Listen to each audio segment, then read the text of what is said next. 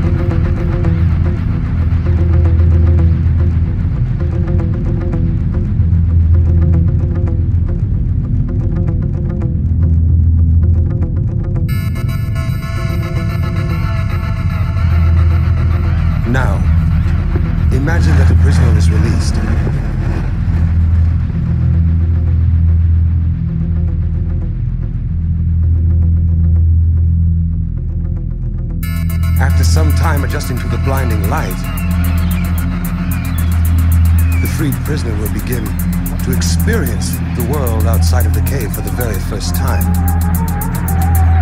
And it is like nothing he could have ever imagined.